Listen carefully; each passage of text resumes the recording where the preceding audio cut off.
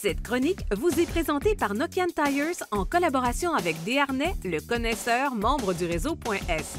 Chez Desharnais, la mécanique, les pneus, on connaît ça. Nous sommes présentement chez Desharnais Pneus Mécaniques et je suis en compagnie de Jean-Guy Roy. Salut Jean-Guy. Salut Daniel. Alors Jean-Guy, euh, cette semaine, on commence le tour des pneus. On va aller voir un petit peu chaque manufacturier, qu'est-ce qu'il nous offre. Ici, euh, chez Desharnais, tu as fait un système qui est un peu plus simplifié pour le consommateur pour qu'on puisse s'y retrouver un petit peu mieux par catégorie. Absolument. Et tu as choisi des pneus, mais tu ne l'as pas fait au hasard. Oui, exactement. Parce que on a divisé dans chaque segment. Parce que prenons le pneu touring. hein, on parle de la masse de produits pour le pneu de printemps, c'est le pneu touring, les caractéristiques d'un pneu touring que, en général, le consommateur recherche. On l'a divisé en quatre segments. Le touring, le premium. Après ça, le haut de gamme, le supérieur et l'intermédiaire. À l'intérieur de ces sections-là, pour faciliter le consommateur, on va faire une sélection de un ou deux produits selon la, division pour que c'est des pneus qui vont sortir du lot. Pourquoi?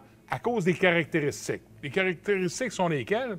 Durabilité, stabilité, douceur de roulement et l'adhérence sur pavé mouillé, sur l'appui.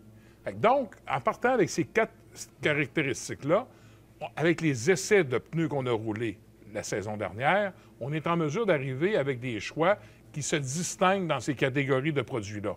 Parce que il y a des, ca- il y a des- pourquoi ils vont se retrouver pareillement dans cette catégorie-là? Parce qu'on n'a pas le choix de les classer là. Facteur prix, facteur code de kilométrage et également aussi la qualité de la bande de roulement.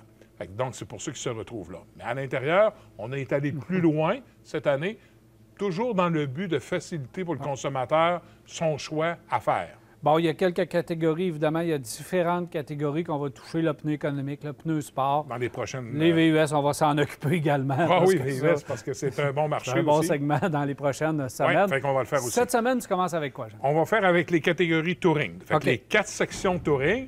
Fait que si on parle premièrement de touring premium. Dans le Mm. touring premium, on retrouve trois pneus qui ont été sélectionnés. Premièrement, c'est le Michelin, le Defender, Bridgestone, le Turanza Mm. Quick Track et le Goodyear Assurance Max Life.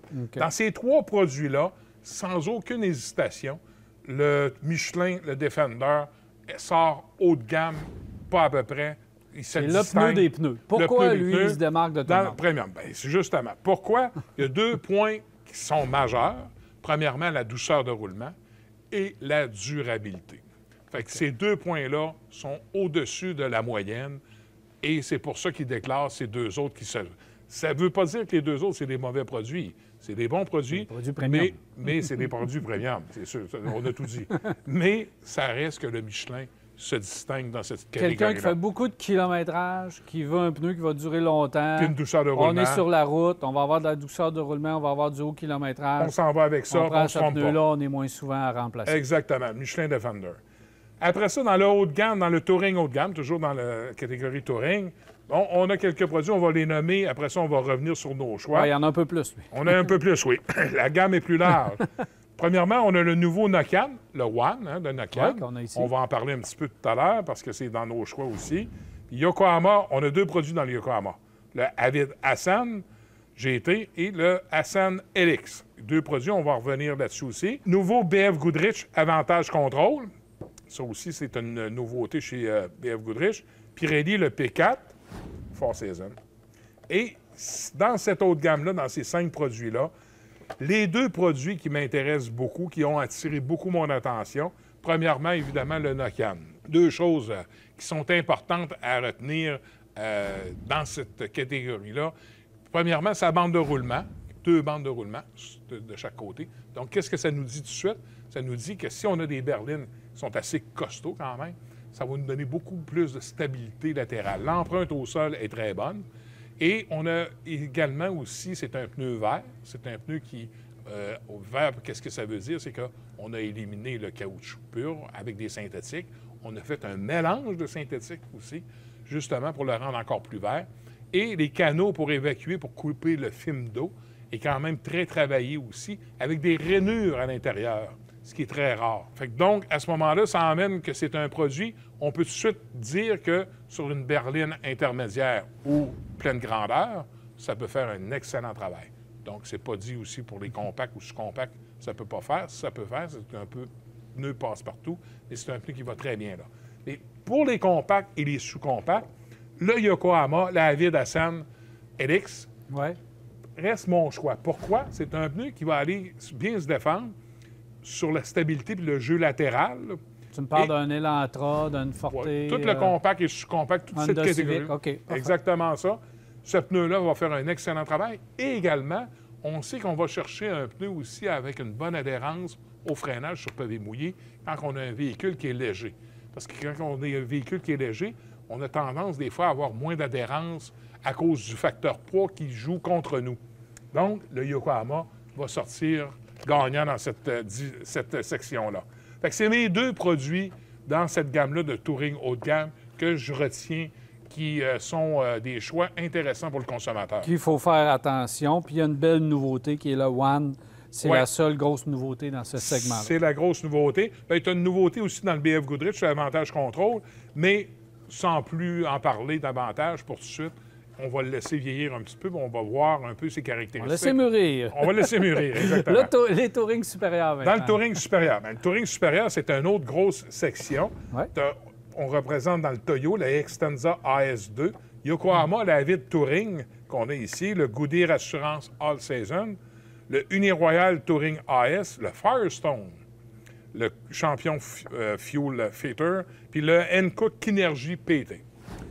Bon, dans cette catégorie-là, qu'est-ce qu'il faut dire au départ? Premièrement, le Toyo, le Extensa AS. C'est un bon pneu, mais c'est un pneu, si on regarde rapport qualité-prix, j'ai toujours euh, regardé ça aussi, j'ai toujours fait attention à ça. Dans la peau d'un consommateur, qu'est-ce que j'ai pour mon argent? C'est important. C'est bon, Limite. mais c'est limite. Exactement. Le, le terme est très bon. Par contre, le Yokohama Avid Touring, quand même très intéressant. Une structure de semelle, une- la, la structure de semelle est vraiment bien, bien adaptée. Pour les voitures compactes, sous-compactes, la Avid Touring, usure des fois un petit peu prématurée. Il faut faire attention sur quelle sorte de véhicule qu'on va le mettre. Véhicule qui est lourd, le moindrement, ça va être un pneu qui va user assez rapidement. Goodyear Assurance en saison. Mais ça, si on veut avoir une douceur de roulement, Ouais, ça, ça. ça, c'est le pneu vraiment intéressant. Sur des berlines, pleine grandeur, ça peut faire un excellent travail, ce pneu-là. Et également, ici, si on parle de le, le Uniroyal, le Tiger Pas Touring AS ou le Firestone, ces deux pneus-là, ils se retrouvent dans cette catégorie-là, c'est le pneu supérieur, mais moi, je les emmènerais plus dans une catégorie économique. On en reparlera un peu de ces produits-là un peu plus tard. Par contre, un pneu qui, qui est mon choix premier dans toute cette catégorie-là, c'est le Hankook, le Kinergy PT. Le Hankook, le rapport qualité-prix que ce pneu-là a, renverse toutes les autres dans sa catégorie. Il sort le grand gagnant parce que au niveau du coût d'acquisition, par rapport à la qualité de la carcasse et de la bande de roulement, extraordinaire. C'est un pneu, on va sortir un bon kilométrage, une bonne adhérence sur pavé mouillé, une stabilité fait sur des voitures sous-compactes à la berline pleine grandeur. Il s'adapte à tous les types de véhicules. C'est vraiment un bon produit. L'année passée, on l'a. On a eu des essais à long terme sur différents types de produits pour voir comment est-ce que ce pneu-là réagissait. Puis il a sorti haut la main et c'est lui qui surclasse tous les autres produits dans sa catégorie. Touring intermédiaire en deux mots, Jean-Guy. Touring intermédiaire en deux mots. Premièrement, le Firestone, euh, qui est là, le All Season, le pneu Kelly, le GT, le Laufen, le Ceylon. Bien, vous savez très bien que le GT radial, c'est mon choix. Encore une fois, c'est sûr que le Champiro, le Touring AS, toujours au niveau de la qualité de la carcasse par rapport à son prix, dans l'intermédiaire, ça reste un joueur très, très, très bien. Et en deuxième, par contre, qui va jouer un petit peu, mais on va aller chercher les caractéristiques qui sont intéressantes, le Laufen.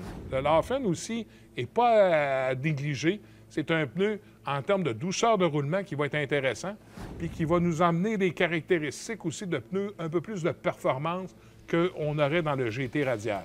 C'est pour ça que ces deux produits-là se chevauchent la tête aisément. Merci beaucoup, Jean-Guy. C'est moi qui te remercie. Au plaisir.